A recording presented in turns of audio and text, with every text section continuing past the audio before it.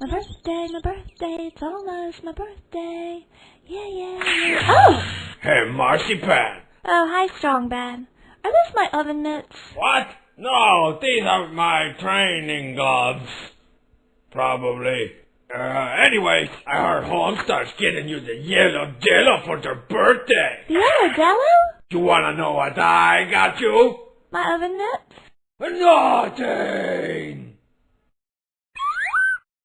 Oh, my very own Yello Dello. She can assist me with my gardening.